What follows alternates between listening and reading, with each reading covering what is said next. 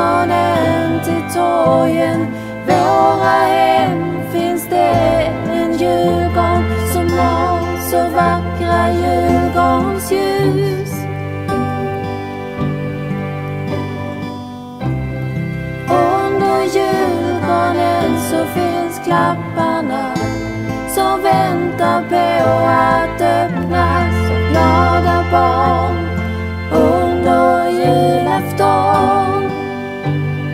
Klockan tre.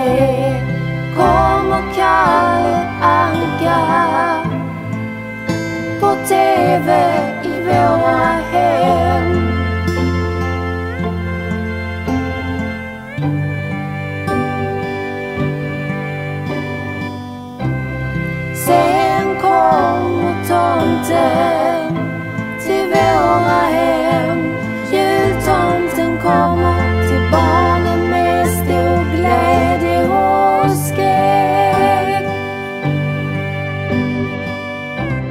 Jultomten kommer till en annorlunda jul i år 2020. Där samhället har stängts ner och världen blivit mörkare med virus och död under året. Men jultomten kommer ändå till vår värld som var mer isolerad och nedstängd i hela världen.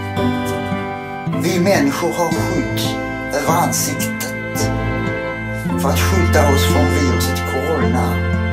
Jultomten kommer till vår värld, till vår jord, denna julhelg.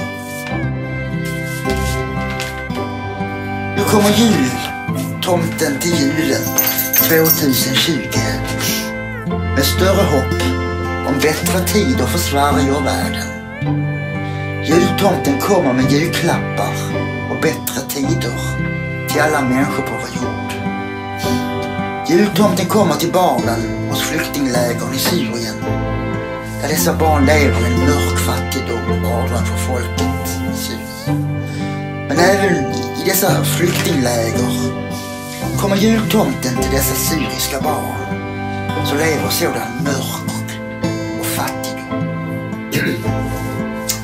Jultomten kommer med hopp till barnen och till alla folk på detta flyktingläger i Syrien.